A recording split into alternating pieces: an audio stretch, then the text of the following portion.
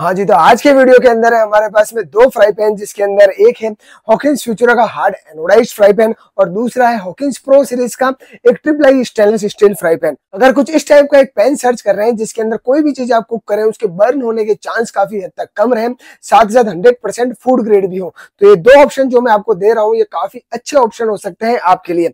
Step by step in दोनों fry pan का पूरा का पूरा कंप्लीट डिटेल रिव्यू करने वाला हूँ, इन दोनों की रेट्स के अंदर क्या डिफरेंस मिलता है, साथ साथ क्या क्या थिकनेस आपको देखने को मिलती है और क्यों ये प्रोडक्ट आपके लिए वैल्यू फॉर मनी रहने वाले हैं, इसकी पूरी कंप्लीट जानकारी के लिए इस वीडियो के एंड तक मेरे साथ में बने रहे। साथ ही साथ अगर इन दोनों फ्राई पैन में से किसी भी फ्राई पैन की किसी भी साइज़ को अगर बहुत ही अच्छी रेट के अंदर परचेज करना चाहते हैं तो इनका बेस्ट डिस्काउंट बाय लिंक इसी वीडियो के डिस्क्रिप्शन में आपको दे रहा हूँ। आप इजिली ना वहाँ से परचेज कर सकते हैं।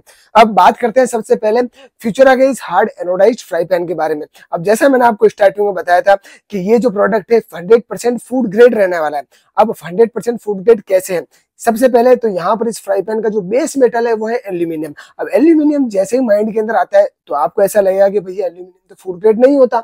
लेकिन यहाँ पर एल्यूमिनियम को फ़ूड ग्रेड बनाने के लिए इसके ऊपर हार्ड एनोडाइज कोटिंग की जाती है, ताकि ये जो बर्तन है, ये कुकवेयर है हंड्रेड फ़ूड ग्रेड रह सके. एल्यूमिनियम आपके खाने के साथ में रिएक्ट ना कर सके.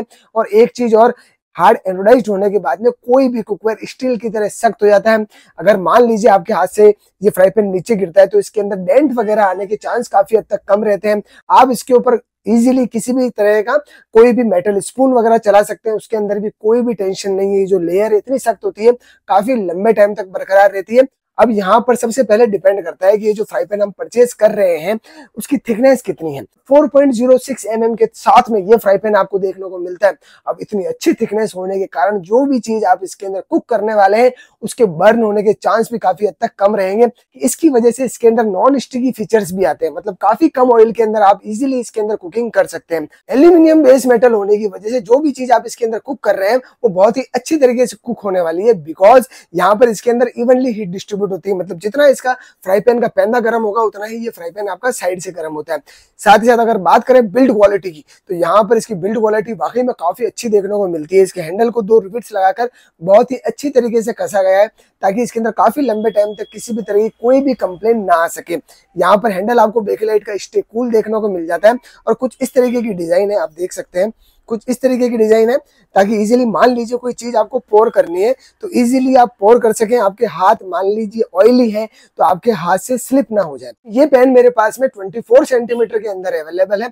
इसके अलावा आपको 17 सेंटीमीटर टू 30 सेंटीमीटर तक के काफ़ी सारे डिफरेंट डिफरेंट साइज़ देखने को मिल जाते हैं। इसके अलावा यहाँ पर ये जो फ्राई पैन आप चाहें तो विद लिड परचेज कर सकते हैं, और आप चाहें तो विदाउट लिड भी परचेज कर सकते हैं। एट ए टाइम ये जो फ्राई पैन है विदाउट इंडक्शन बेस के अंदर है, और आप चाहें तो इसके अंदर इंडक्शन बेस वाला मॉडल भी अवेलेबल है, वो भी परचेज कर सकते हैं। फाइव ईयर की वारंटी इस पेन के साथ में आपको देखने को मिल जाती है। और अगर बात करें रेट की तो वन टू फाइव ज़ीरो मतलब बारह सौ पचास रुपए की रेट में ये ट्वेंटी फोर सेंटीमीटर का फ्राई पेन आपको देखने को मिल जाता है। अब बात करते हैं हमारे नेक्स्ट पेन की, जो की प्रो सीरीज़ का ये triple stainless steel fry pan ये जो फ्राई पैन आपको विद लिड देखने को मिलता है, आप देख सकते हैं यहाँ पर लिड के साथ में हमको देखने को मिल जाता है। कुछ इस टाइप की लुकिंग आपको इस फ्राई पैन के अंदर देखने को मिल जाती है। आप 360 डिग्री व्यू देख लीजिए इसका। पूरा कंप्लीट जो लुकिंग है कुछ इस तरीके की है।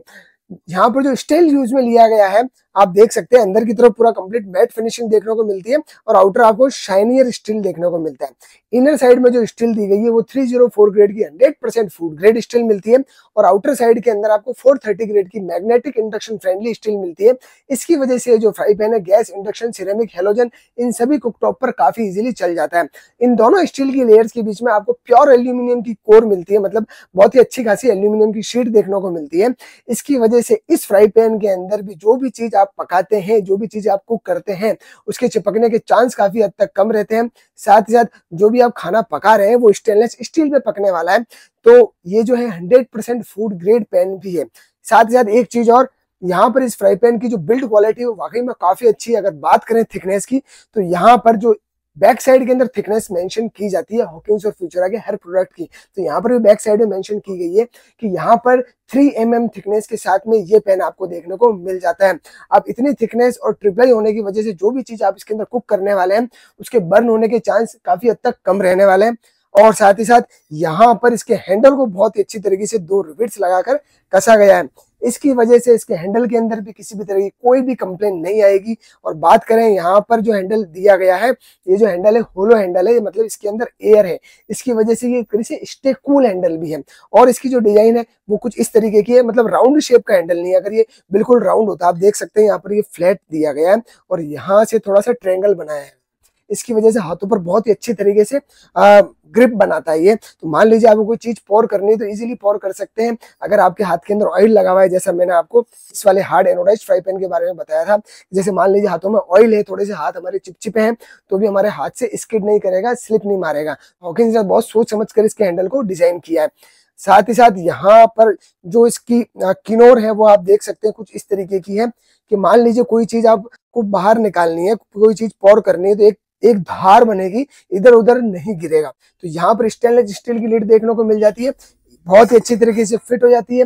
आप विद लिड कुकिंग करते हैं तो इसका फ़ायदा ये भी है कि बहुत ही जल्दी आपकी कुकिंग होती है। मेरे पास में ये जो fry pan at a time 22 centimetre size में अवेलेबल है। इसके अलावा आपको 24 सेंटीमीटर एंड 26 सेंटीमीटर वाला साइज़ भी देखने को मिलता है। और यहाँ पर 22 सेंटीमीटर वाले फ्राई पैन की एमआरपी मेंशन की गई है, वो है टू टू ज़ीरो ज़ीरो मतलब बाईस सौ रुपए। और अराउंड टेन परसेंट के आसपास लेस करने के बाद में दो हज़ार रुपए की रेट के अंदर ये पेन आपको देखने को मिल जाता है। साथ ही साथ फाइव ईयर की वारंटी इस पेन पर भी आपको देखने को मिल जाएगी। साथ ही साथ हमारे ये जो दोनों पेन है, वो डिश वॉशर सेफ़ भी है तो आप इस चीज़ के अंदर भी बिल्कुल निश्चिंत रह सकते हैं। और दोनों पेन्स का, जैसे मैंने आपको बताया, बहुत ही अच्छे डिस्काउंट का लिंक आपको इसी वीडियो के डिस्क्रिप्शन दे रहा हूँ। आप इजिली इन्हें वहाँ से परचेज कर सकते हैं। और इस टाइप की वीडियोज़ मैं लोकेश आप लोगों के लिए टाइम टू टाइम लेके आता रहता हूँ, जिससे आपको वैल्यू फॉर मनी प्रोडक्ट मिल सके। तो प्लीज़ मेरे साथ में बने रहें। वीडियो अच्छी लगी हो तो वीडियो को लाइक एंड शेयर कर दीजिएगा। थैंक यू वेरी मच जय हिंद, जय भारत।